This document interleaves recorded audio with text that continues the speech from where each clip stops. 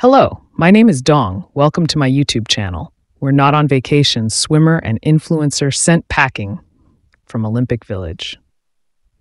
Luana Alonso, 20, was determined to enjoy her holiday in Paris, but Team Chiefs weren't impressed.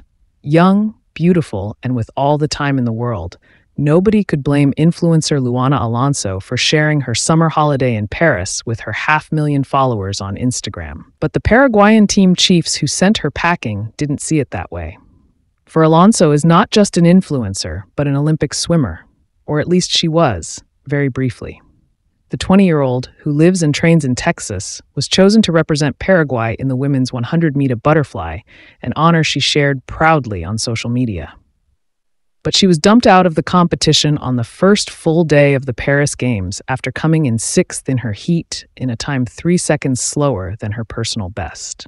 Distraught at the result, a tearful Alonso announced her retirement live on television, confirming it with a post on Instagram.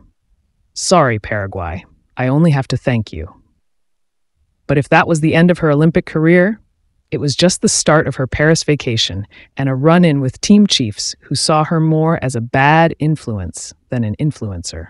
Since her arrival in Paris, Alonso's Insta and TikTok feeds had been filling up with shots and clips of her enjoying the French capital, cruising down the Seine, posing atop the Eiffel Tower, grabbing a selfie with Rafa Nadal.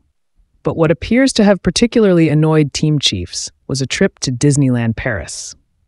It was after that excursion that she was asked by Paraguayan chef de mission Larissa Schaerer to pack up and leave the athletes' village because she was creating an inappropriate atmosphere at the heart of Team Paraguay. We are a serious team that seeks to compete, not to go sightseeing, Camilo Perez, president of the Paraguayan Olympic Committee, told a Paraguayan radio station. According to her latest Instagram post, Alonso is now back in the United States, her Olympic career and summer holiday in Paris over time burning.